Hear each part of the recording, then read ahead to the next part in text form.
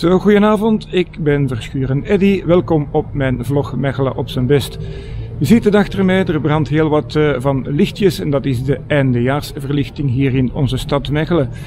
Ik ga er u laten van genieten. Ik ga er niet te veel woorden bij gebruiken. En we gaan gewoon de muziek, aangepaste muziek erbij spelen. En ik zou zeggen, geniet van onze eindejaarsverlichting. Straks op het einde van de video kom ik bij u terug. Maar vergeet vooral niet u te abonneren op dit kanaal. Dat kan je onderaan door op de rode knop te drukken, abonneren en daarna op het belletje. Dus we gaan nu samen kijken naar de lichtjes.